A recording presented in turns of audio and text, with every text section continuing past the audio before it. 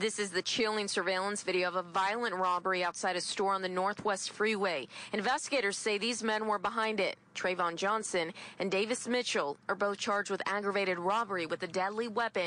Five years is a long time. Look at this motherfucker. Yeah. Shit has not been the same since you've been gone.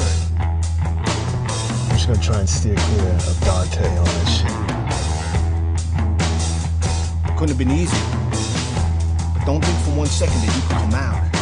Tell me what to do, what not to do, who to talk to, and who not to talk to. You fucking understand? This is a once in a lifetime opportunity. You don't get second chances like this. Don't cry, I don't work for you. be alright. Everybody works for me.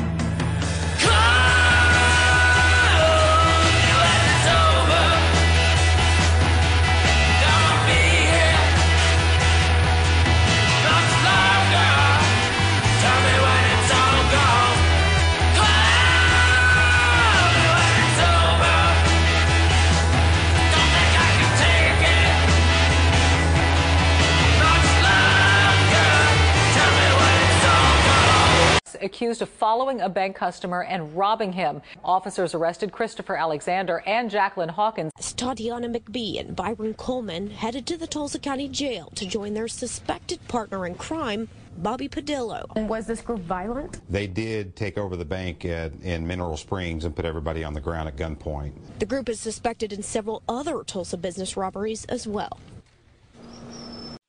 Three men, all under the age of 30, are now behind bars. The suspects' eyes were most likely on the ATM, waiting for the right target to show up, punch their numbers, and get some cash.